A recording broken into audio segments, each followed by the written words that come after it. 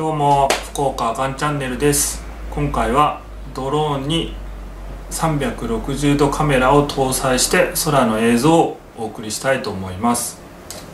こちらのファントム4にこんな感じで360度カメラをくっつけて飛ばしていきたいと思います。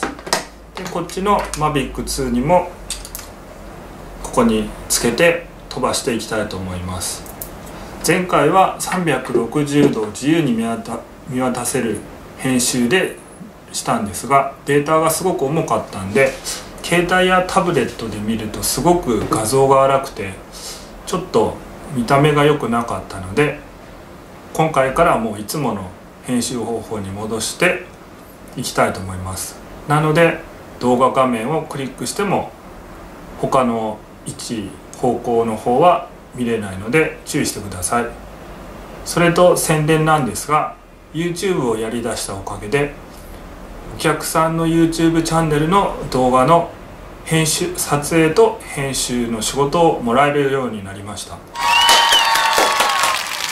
りがとうございます。そのチャンネルの名前は九州山口の情報チャンネルです。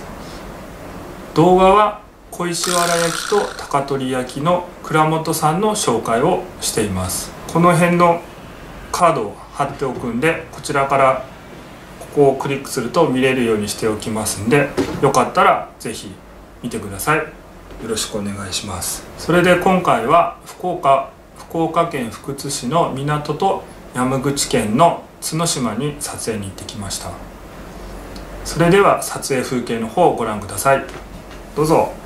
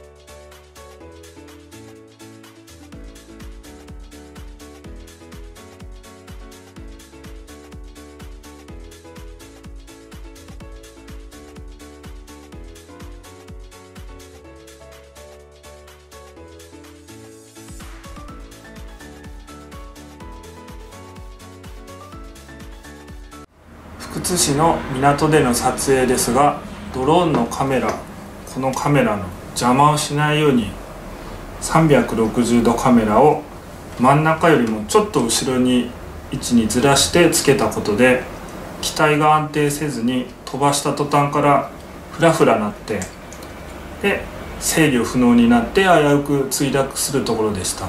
ちょっと焦りました。次は気を取り直して角島の方を。どうぞ。